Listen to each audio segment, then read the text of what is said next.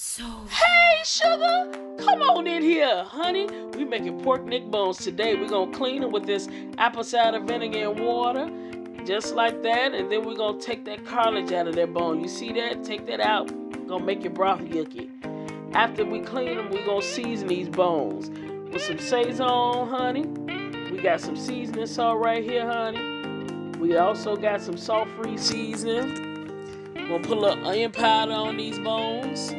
Got some garlic powder. Then we're gonna put a little chicken bouillon on there.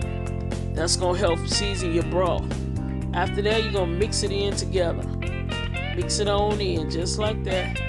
Mix it in, won't get all them bones seasoned. I'm gonna rinse my hands off because I'm gonna go right back in with the same seasoning. Seasoning salt, Sazón, onion powder, garlic powder, salt-free seasoning, and then some chicken bouillon. Yes, honey. Then we're gonna mix it up again. Use your hands, child. I'm cooking for my family. And then after that, we're gonna take this cast iron pot and we're gonna put them neck bones in there. Now, if you ain't got a cast iron pot, a regular pot is fine too, child. Honey, my mama used to make a big old pot of neck bones, string beans, and potatoes. Yes, bring back memories. We're gonna rinse our hands off here. After that, you want to put your pot in the sink and then fill it up with water. Cover your bones with water, just like that.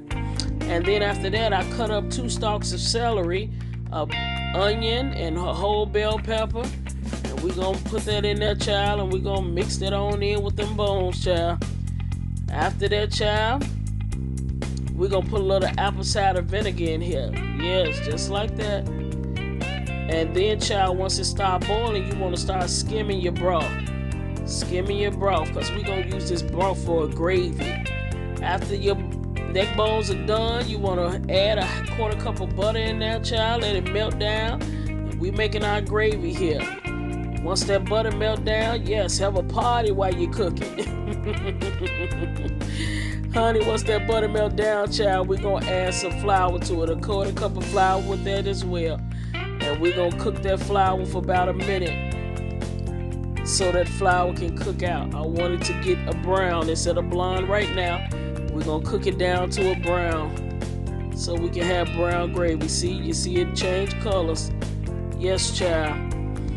After that, we're gonna add four cups of that stock that I poured off from the neck bones.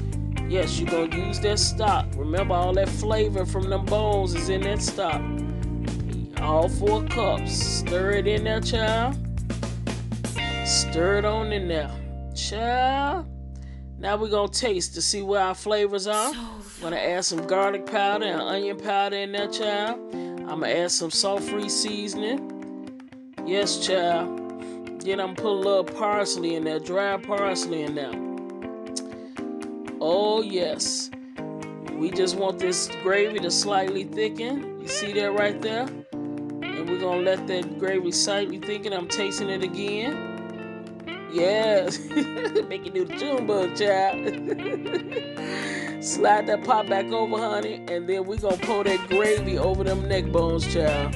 Just like that. And we're gonna continue to cook it a little bit more, and that gravy gonna get a little bit thicker, okay? Child, I'm telling you, neck bones is a cheap cut of meat.